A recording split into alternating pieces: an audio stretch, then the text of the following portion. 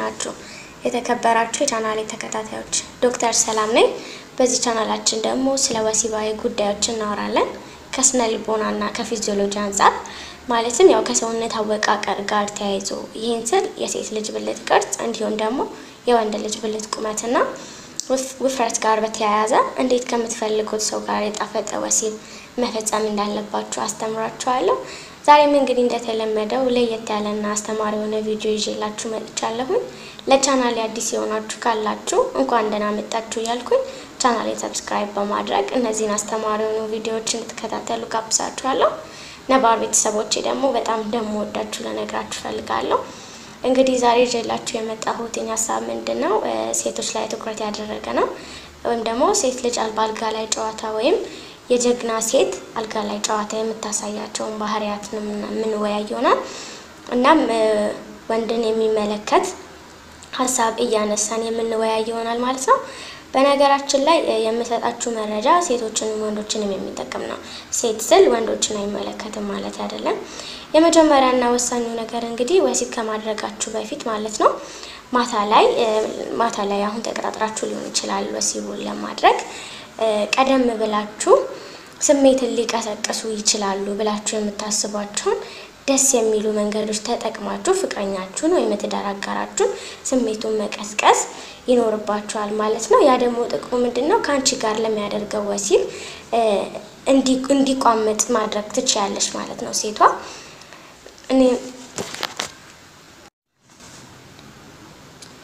ይሄ ነገር ወንዶችን መጠቀም ትችላላችሁ ለሴቷ ማለት ነው። ሴቶች ላይም ስለሚሰራ ስለዚህ ቀደም ብላችሁ የወሲብ ስሜትን ሊቀሰቅሱ የሚችሉ ድርጊቶችን ማድረግና ከዚህ በፊት ደግሞ ያሳለፋችሁት ወሲብ ወይም ደግሞ እናንተ ልትግባቡበት የምትችሉትን መንገድ መጠቀምና የወሲብ ስሜቱን መቀስቀስ በምትችሉባቸው መንገዶች ለምሳሌ በጽሁፍ ሊሆን ይችላል፣ በ text መጻጻፍ። ከዛም በተጨማሪም ደግሞ ቴሌግራም or ኢሞ ላይ እንደዚህ አይነት ወሲብን ሊቀሰቅሱ የሚችሉ picture ኦችን ሊሆን ይችላል ፎቶዎችን በመላላክ ስትገናኙ ለምታደርጉት ወሲብ ጥሩ ይሆናል ማለት ነው። ይህን ስላችሁ phone sex አድርጉ ወይም ደግሞ chat ላይ ወሲብን ፈጽሙ ማለት ሳይሆን በኋላ ላይ ስትገናኙ ለሚደረገው ወሲብ መነቃቃና መንደርደሪያ እንዲሆናችሁ ነው ማለት ነው። ሌላኛው ደግሞ ወንዶች ለሴቶች በጣም የሚያደንቁላቸው ወይም ደግሞ እሷ ለየት ያለች ናት ብለው የሚያስቡበት ጥበብ ምንድን ነው? በተለይ የመሳሳም ችሎታዋን ማየት አለበት ወንድ ልጅ ማለት ነው። ሴት ልጅ ጀግና ናት ብሎ እንዲያስብ እየተሳሳሙ ደግሞ እጆቿ በተለይ በመሳሳም ሁኔታ ላይ ያለች እጆቿ ሌላን ነገር መስራት አለባቸው። እጆቿ መንካት ያለባቸውን ነገሮች በጠቅላላ በደንብ መንካት አለባት። ለምሳሌ በመሳሳም ሁኔታ ላይ ሴቷ ወንዱን በምትስምበት ሰዓት እጆቿን ብልቱ አካባቢ በመላክ የእሱ ብልት መነካካት እና ማሻሸት አለባት ማለት ነው። የብልቱ ጫፍ በደንብ መታሸት ወይም ደግሞ መነካት አለበት። የወንዶች ብልት አካባቢ በጣም sensitive እና ብዙ የነርቭ ending ኦች ያሉበት ቦታ ስለሆነ ስለዚህ ይህ አካባቢ ብልቱ ማለት ነው በጣም በሚነካና በሚታሽበት ሰዓት መታሸት ስላችሁ በጉልበት ሳይሆን like እንደ ማሳጅ አይነት ነገር step ኦችን በመጠቀም ያንን ነገር በጣም በምትነካካበት ሰዓትና ፍትጊያ በሚደረግበት ሰዓት ወንዱ ወሲባዊ ስሜቱ ወይም ደግሞ ወሲባዊ ስሜት ውስጥ ለመግባት ወይም እራሱን መቆጣጠር እስከማይችልበት ሁኔታ ውስጥ ስለሚገባ ሴቶች በተቻላችሁ መጠን ከላይ በምትሆኑበት ሁኔታ ወይም ደግሞ ከላይ በምትሆኑበት ሰዓት እየተሳሳማችሁ ባላችሁበት ሰዓት ማለት ነው እጃችሁን ወደ ታችኛው የብልቱ ክፍል በመላክ መነካካት አለባችሁ። እንግዲህ እናም ደግሞ እነዚህን ሁለት ነገሮች በማድረግ ሁኔታ ላይ ወይም ደግሞ በምትሳሳሙበት ሰዓት አሁንም ደጋግሜ ልነግራችሁ የምፈልገውን ነገር ሴቶች ከወንዶች ጋር እየተሳሳማችሁ ባላችሁበት ሰዓት እጃችሁን አሰሩት። በቃ ወደ ታችኛው ክፍል በመላክ መነካካት ያለባቸውን ቦታዎች በጠቅላላ መንካት እንዳለባችሁ አሁንም ደጋግሜ ልነግራችሁ ፈልጋለሁ። እነዚህን ከተጠቀማችሁ በኋላ ደግሞ እናም ኃይል መጠቀም ካለባችሁ ፍጥነታችሁን መጨመር እና እነዚህን ቦታዎች መነካካት አለባችሁ። ወንዶች እንግዲህ እንደዚህ አድርጋችሁ እንደዚህ አድርገው ካደረጓት ሴት ጋር ያሳለፉትን ወሲብ ሊረሱትም የማይችሉት ነገር ነው። ካለሷ መኖር እንደማይችሉ አድርገው እንዲያስቡ ታደርጓቸዋላችሁ ማለት ነው።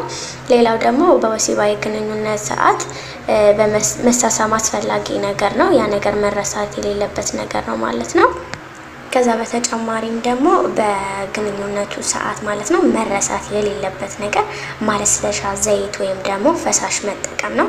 ይሄ ነገር ሊኖራችሁ ይገባል፣ ግድ ነው ማለት ነው። በተለይ ደግሞ የኮኮናት የተሰራ ዘይት ወይም ቅባት ቢሆን ይመረጣል።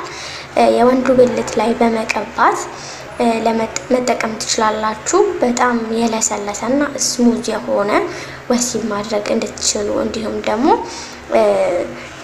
ሙሉ ሰውነታችሁን ማሳጅ በመደራረግ የጣፈጠ ወሲብ መፈጸም እንድትችሉ ይረዳችኋል ማለት ነው። ሌላኛው ደግሞ ወንዶች በጣም የሚወዱት ሴቷ ከላይ ስትሆንና ከላይ ሆና ወሲብን በምታደርግበት ወይም ደግሞ ያንን አይነት position በጣም ነው የሚወዱት ሴቶች።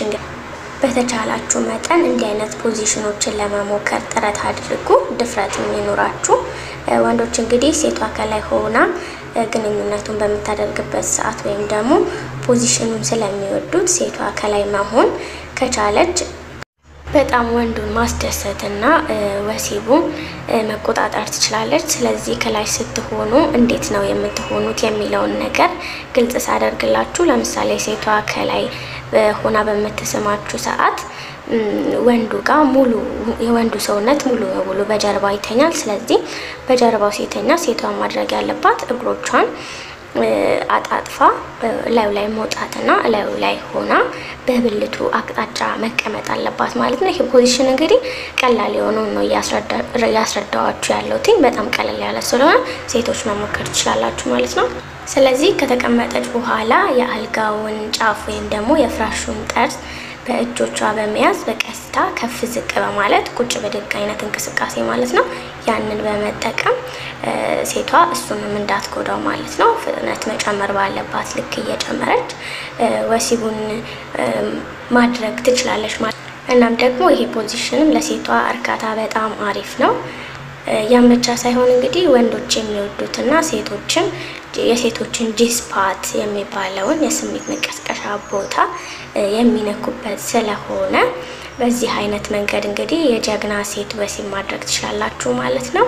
ይሄ ደግሞ በቀላሉ ልትሞክሩት የምትችሉትና ለሴቶች ብዙም የሚከብድ አይነት ስላልሆነ ሌሎችም position ኦችን እንዳነሳላችሁ የምትፈልጓቸው አይነት ፖዚሽኖች ካሉ እንድንነጋገርበት የምትፈልጉት ማለት ነው comment ላይ አስቀምጡልኝ። ስለዚህ ሴቶችም እንግዲህ በእንደዚህ አይነት መልኩ ወሲብ ከወንዱ ጋር ካደረጋችሁ ደስተኛና ወሲባዊ መጣጣምን ትፈጥራላችሁ ማለት ነው። ትልቁ ነገር ደግሞ በወሲብ መጣጣም ነው እና ይህንን ነገር በመውሰድ ቅድመ ወሲብ የሚባለውን ነገር እንግዲህ ወሲብ ውስጥ ከመግባታችሁ በፊት እና ተንደርድራችሁ ወሲብ ከማድረጋችሁ በፊት እነዚህ መንገዶች ብትጠቀሟቸው መልካም ይሆናል። ይህ ነገር ደግሞ ለምንድን ነው የሚጠቅማችሁ? ቅድመ ወሲብ ስታደርጉ በኋላ ላይ ለምታደርጉት ወሲብ ረዘም ላለ ሰዓት እርካታው እንዲቆይ ያደርግላችኋል ማለት ነው።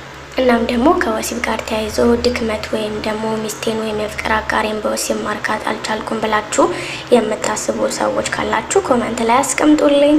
በነዛ ርዕሰ ጉዳዮች አንስተን የምንወያይ ይሆናል። ለዛሬ እንግዲህ ይዤላችሁ የመጣሁትን ቪዲዮ ይሄን ይመስል ነበረ። like፣ share፣ subscribe በማድረግ እንድትከታተሉኝ እየጋበዝኩኝ በሌላ ቪዲዮ በተመሳሳይ ሰዓትና በተመሳሳይ ጊዜ እስክንገናኝ ድረስ ወዳችኋለሁ። ቻው ናችሁ የተከበራችሁ የቻናሌ ተከታታዮች ዶክተር ሰላም ነኝ። በዚህ ቻናላችን ደግሞ ስለ ወሲባዊ ጉዳዮች እናወራለን ከስነ